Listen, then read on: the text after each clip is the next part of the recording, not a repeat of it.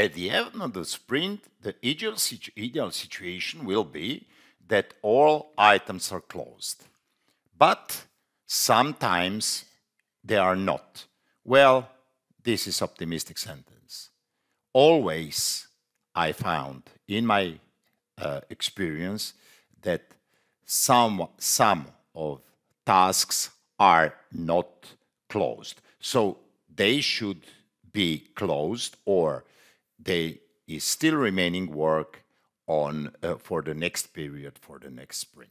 So how to easily move those uh, items to new sprint? Okay, for this I will choose my project. Okay, and when I'm in project, I'm going to boards and I'm going to sprints. And you will see when I go to sprints, okay, it will load some, come on, come on, come on, come on, refresh, come on, come on, come on. Okay, here it is.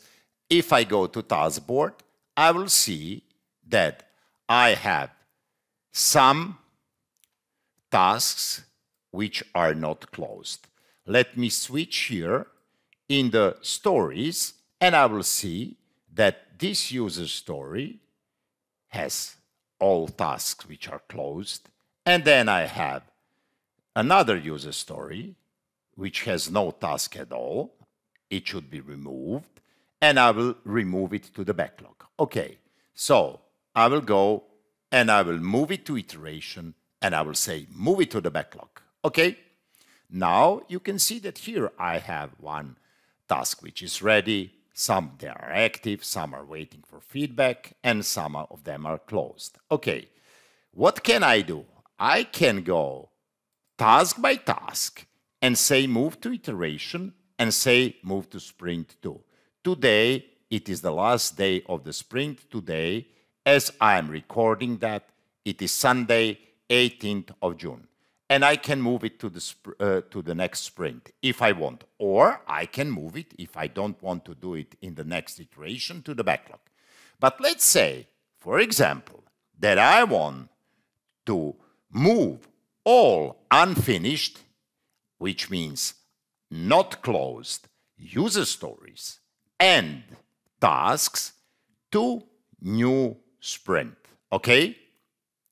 Let me show you how to do that in the easiest way, not one by one, which I can do, but let's say that all those tasks which are here, okay, not for this user story, okay, for this user story, four, but for user story 15, I want everything to move into new sprint. Let me show you how to do that. Okay, let's go to the backlog. Remember, I'm in a sprint backlog. This backlog contains only items which belongs to this sprint. You see iteration path, okay? Iteration path, I added iteration path like here in column options and I added iteration path. And I can see that the user stories, uh, uh, uh, tasks and user stories which are in this sprint, okay? So what I'm going to do, I'm going to move only tasks which are not closed to the new sprint.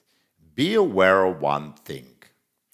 If I choose user story and move user story to a sprint, then all tasks which are in current sprint okay, if I go here and say move it to the iteration and I say sprint number two, all tasks which belongs to this user story is going to be moved to the new sprint.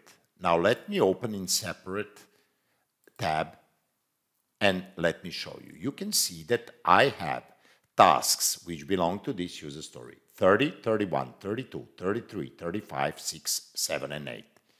And here if I open this, here I will have, I have 30, 35, 31, 32, 33, 42, 36, 34, 38, 44, 37, 39.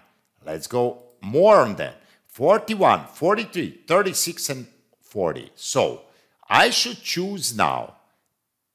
Am I going to move this user story to the to the new sprint and all their tasks or not?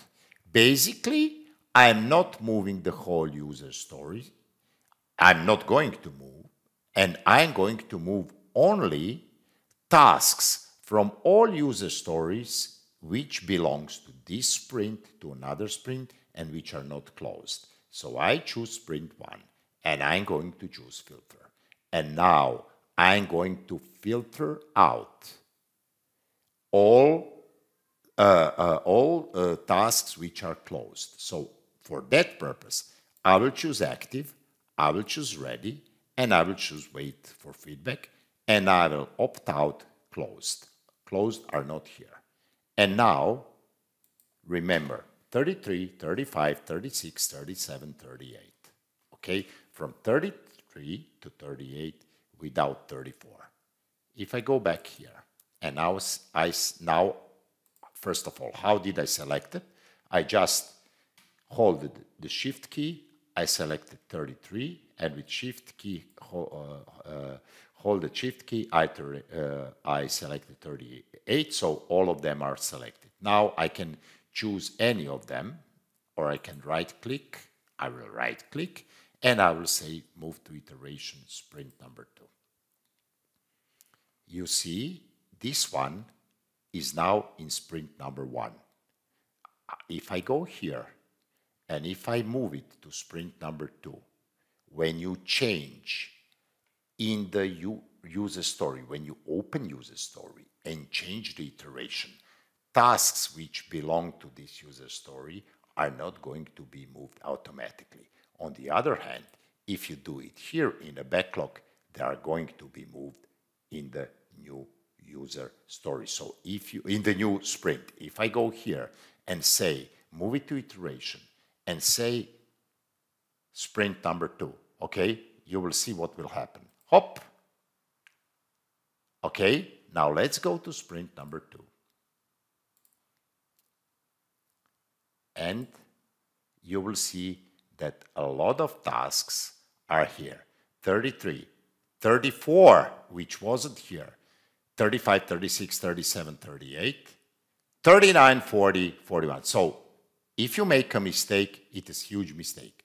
But let's say that I really want ju wanted just those tasks which were not closed, not the whole task for user story. What am I going to do now when I made a mistake? Well, it is hard work. I know that 33, 34, uh, 33, 35, 36, 37, and I, if I remember well, 38 were here. So I will use 34.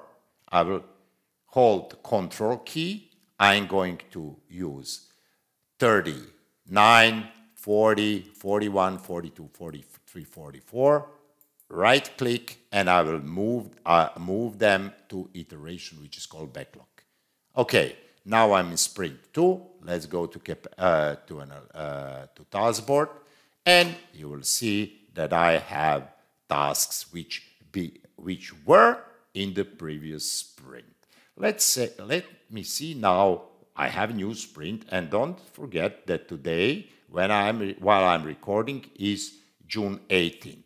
From tomorrow it will be it will be active this sprint. So that is the right time to do it. Okay, let's see over allocation or something like that. Okay, I have people here and I will go to work details. You will see that I have John, Mary, Paula, and Peter. Why is that? because before I recorded this sprint, I put capacity here. If I leave capacity zero, okay, sorry, zero here, zero here, zero here, and zero here, and I save it. And if I go back to the taskboard, you will see that you will get nothing. Why? Because you allocated some tasks, as you can see, to Paula, to John, to Mary, etc., etc., but they don't have capacity. So be aware before you start your sprint. Go to capacity and put the right capacity. I will say now 8, 8, 8, 8, 8. For example, I have no days off. I will save it. I will go to the task board and you will see that I have something, some task assigned. So they are way too under, uh, uh, let's say, uh, underutilized. They are not utilized. So I can do something like go to the backlog here and assign some tasks which are in payrolls or in billing, let's say billing goods, which are not closed and which are uh, which should be uh, in the next which are not closed, which are not in current sprint, and uh, move uh, them to the sprint. But this is not a topic of this uh, of this vlog. It, it, the topic is and was. If you go to the sprint and you choose sprint, okay, and you want to move some items to the sprint, go to the backlog, filter out states of which you want to move to new sprint and be aware if you choose tasks okay then and not user story once again not user story then only those selected tasks when you are going to move them to iteration no matter which sprint are going to be moved. If you are moving the whole user story here, all tasks which belongs to user story, no matter if they are in current sprint which uh, at you are which uh, at you are looking at currently, this is sprint two, or not, are going to be in the new sprint, in the sprint to which you move this user story. And once again, if you go to the specific user story and you change the sprint, then tasks which belong to users, this user story from this screen are not going to be moved in, in that particular sprint. But if you use this one, okay, from the sprint backlog and move it, then all tasks are going to be moved. Okay, hope this helps. Thank you very much. Have a nice day.